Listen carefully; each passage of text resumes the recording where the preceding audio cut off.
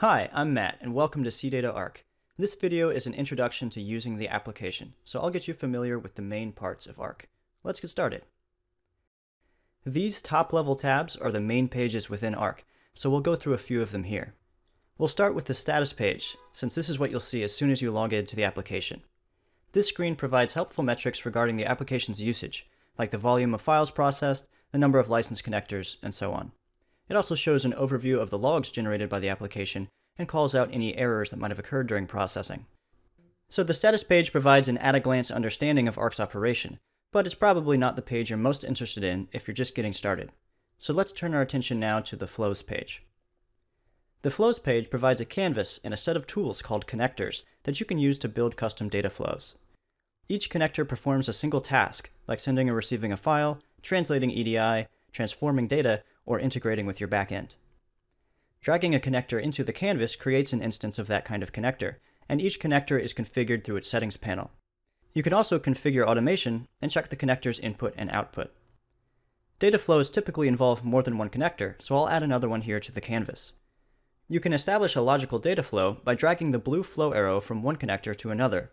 These arrows mean that after a connector has finished processing or receiving data, it will pass that data along to the next step in the flow. You can configure multiple flows in the same canvas, or you can separate flows using workspaces. Each workspace functions as a separate canvas for organizing your flows. So this flows canvas is where most of the magic happens in CData Arc. However, not all configurable settings are found within this page. So let's move on to the Profiles page, which is necessary for many MFT, or Managed File Transfer, use cases. In the Profiles page, there is a tab for each relevant MFT protocol. Within these tabs, you can configure the settings that identify you as an MFT entity.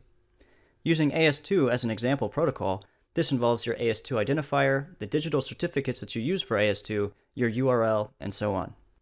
Notice that the Profiles page is for configuring details about you during an MFT exchange, while details about your trading partner would be configured in the connectors of the Flows page. The last page we'll talk about here is the Settings page. This is where you configure settings that are application-wide, meaning not restricted to a particular connector or flow, but also aren't related to your MFT profiles. Briefly, here are each of the tabs in this page. The Users tab contains the list of users that can log into Arc and their roles.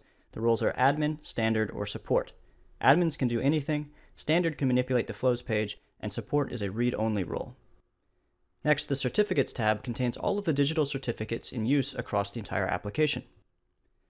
Next, the Alerts tab is used to configure email alerts when Arc encounters certain errors. The Admin API tab allows for granting access to the Admin API, which allows you to configure Arc remotely and via scripting by sending these API requests. The Connections tab stores the details for all of the configured connections you have to your backend systems, whether those are databases or SaaS applications. The SSO tab allows for configuring single sign-on using Azure Active Directory. And finally, the Advanced tab covers less common settings like performance tweaks, file cleanup, and proxies.